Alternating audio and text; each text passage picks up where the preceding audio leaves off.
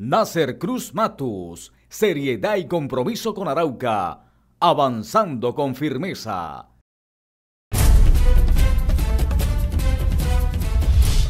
Delincuentes hurtaron un medidor de agua en el barrio Unión del municipio de Arauca. Al parecer ya se han presentado varios hurtos de estos medidores en la capital araucana. Una nueva modalidad de hurto se conoció en el municipio de Arauca. Ahora los delincuentes vienen hurtando los medidores del agua en algunas viviendas de la capital araucana.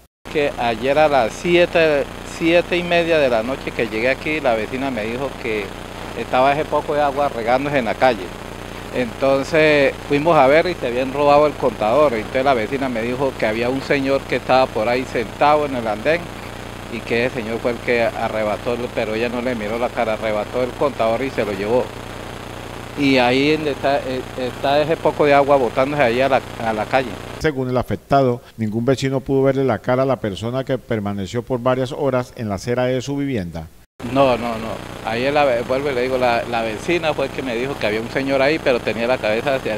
Cuando ella salió ahí a la, a la casa, tenía la cabeza agachada hacia el suelo, entonces ella no le pudo ver la cara. Don Hernán Lozano se comunicó con la empresa de servicios públicos en Serpa y la única respuesta que obtuvo fue que debe comprar el medidor de agua nuevamente.